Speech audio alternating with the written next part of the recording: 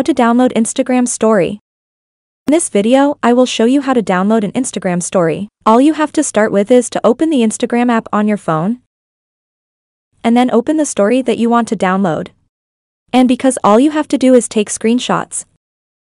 And this is the simple way for you to download Instagram story. If you like the video, don't forget to like and subscribe. See you soon with the next video.